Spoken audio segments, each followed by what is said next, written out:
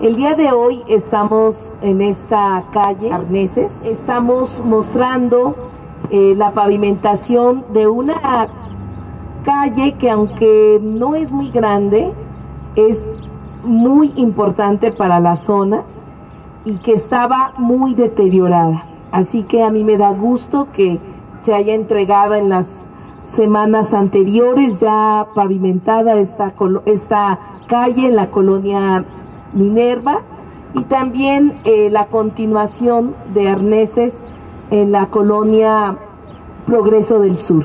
Así que estamos el día de hoy con ustedes, eh, nuestra Dirección General de Obras y nuestra directora territorial.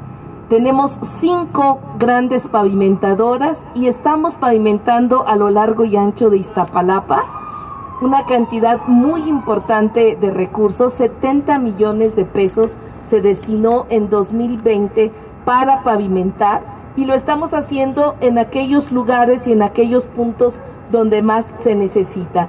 Hoy con nuestras pavimentadoras, con nuestro personal de la alcaldía, eh, con el asfalto de la planta de asfalto que depende del gobierno de la ciudad.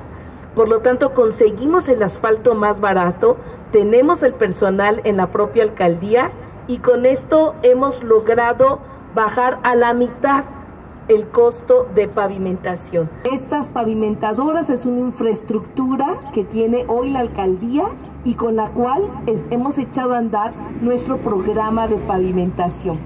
¿Qué significa? Que es la propia alcaldía quien está pavimentando.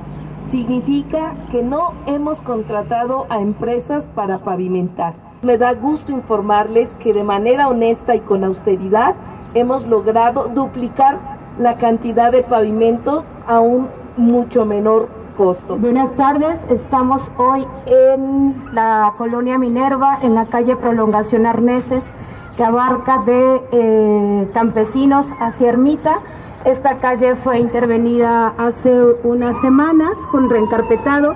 2.468 metros cuadrados fue lo que se reencarpetó y ocupando 450 toneladas de asfalto. Gracias vecinos y vecinas, seguimos trabajando para ustedes.